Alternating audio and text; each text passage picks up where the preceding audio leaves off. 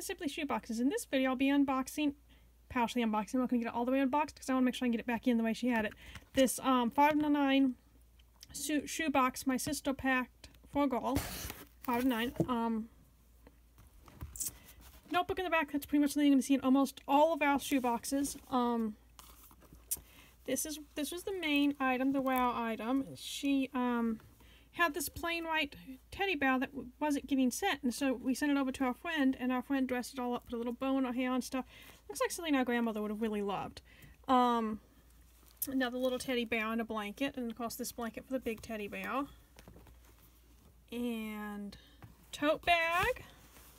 And there's a little butterfly flyer that is like a um like a airplane and a little notebook down there and some toothbrushes and this I'm sure is the school supplies, pencils, sharpeners, erasers, whatnot. A Little pair of socks, tennis ball, soap, crayons, washcloth, um, little purse that probably I'm guessing has yeah like little hair things and little all these little pictures that change as you change angles on them and stuff. Um, a bead kit, a little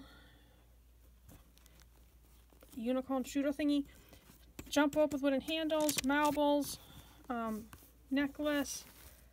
Um, so anyways, that's what went in this box. And oh, I think there's another color, and there's a coloring book down on the bottom too. So that is our really cute teddy bears box. The teddy bear is definitely the wow item in this box. So cute. Um, hope you enjoyed this video. Um, if you like to see shoebox unboxing and just random shoebox stuff, please subscribe. I'll be having, hopefully having a lot up throughout the year.